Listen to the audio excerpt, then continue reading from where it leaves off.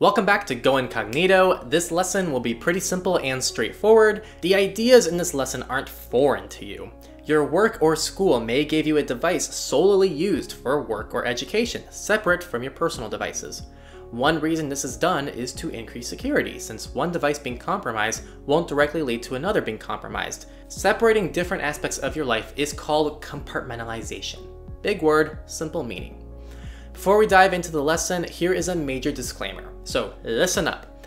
I'm going to be giving you the most unrealistic scenarios. I repeat, unrealistic, that involve purchasing a device for every task you perform. I know this is far from realistic, we are, we're not millionaires, but I'm demonstrating how you can utilize multiple devices to benefit privacy and security. It is a mindset lesson, training you how to think differently about device management.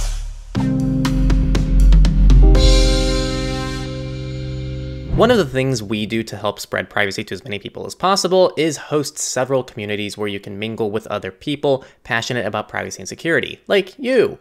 You'll find our communities on Discord, Matrix, and Telegram. Uh, if you're more interested in staying up to date with our content and projects, we are on Twitter and Patreon as well for more consistent updates on what's happening on our ends. Enjoy the rest of the lesson. As discussed before in Go Incognito, you can't anonymize your personal identity. You're born, you're in the system, so you can get a device used for your personal stuff. Email, banking, school, and other things you can't really avoid that utilize your personal information.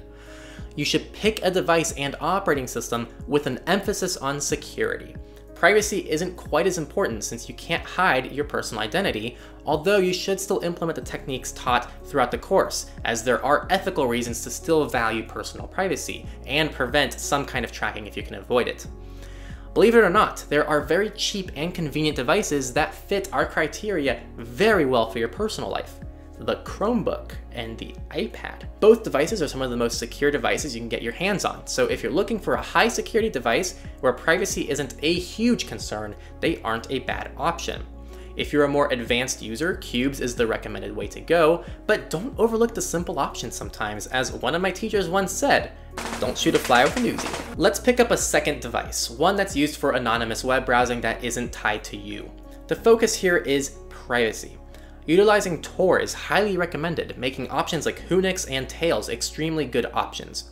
Don't forget that Tor needs to be used properly to achieve decent anonymity, so make sure to rewatch lesson 4.5 for a refresher on Tor. You can have a third device used only for work. Personally, I have my desktop used only for video production. I am unable to access any of my personal accounts from that computer for max separation. You can have a fourth device used for online dating, created from the ground up with maybe a pseudonym, or only with small pieces of your actual information that you don't want mixed with your fully fledged personal device. You can have a gaming device, a naughty device, really anything. The sky is the limit, and the more boundaries created between the activities you do, the harder it is to tie them together. Before clocking out, I will remind you this was a mindset lesson. I don't expect everybody to buy eight different devices for different tasks, but I do expect you to start thinking about how certain aspects of your life are mixed when it could be beneficial to separate them through a physical barrier like several devices, or it may just be a digital one, using maybe something like virtual machines or separated user accounts.